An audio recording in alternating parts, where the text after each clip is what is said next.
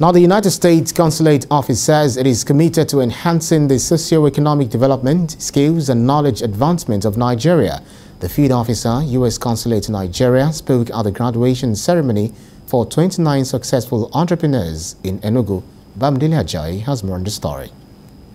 It is the first edition of the Conference of Emerging Entrepreneurs, organized by the United States of America's Consulate Office, Lagos in conjunction with a non-governmental organization, Field of Skills and Dreams.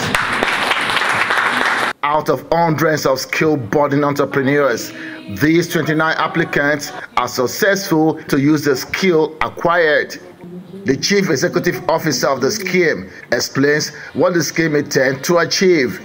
Our top strength in creating jobs at FSD is working with people teaching youths how to build sustainable businesses and build their lives through continuous mentoring. Uh, urged you to make sure that you train others because if you do not step the training down then you, you will not be able to achieve the critical mass that would move our economy forward.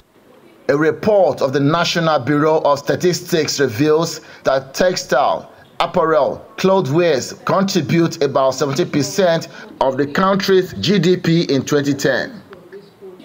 Representative of the U.S. Consulate believes that the conference will equip the participants with new knowledge that will enhance their success in the world of business. But we don't do it just for fun. We do it because we're building the capacity of Nigerians so that that can lead to inclusive economic growth for the entire country. Nigeria has over 37 million micro, small, and medium-sized enterprises.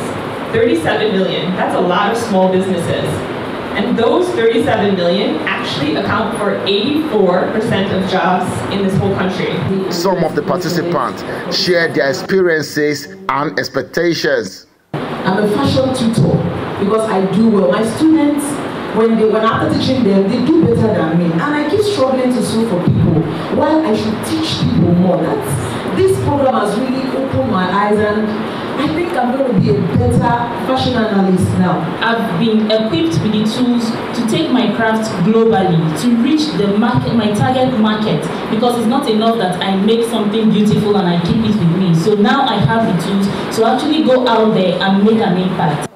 The workshop is expected to shape the minds of young Nigerian entrepreneurs on the techniques they need to deploy to make a difference in their chosen profession.